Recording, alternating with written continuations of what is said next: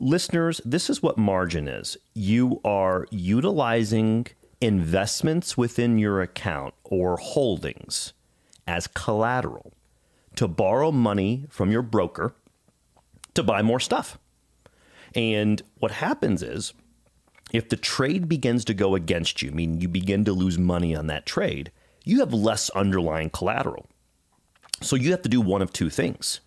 You either have to add fresh capital into the account to bulk it up, or the brokerage firm is going to force you to sell because usually their release rate is no more than 50% of the account.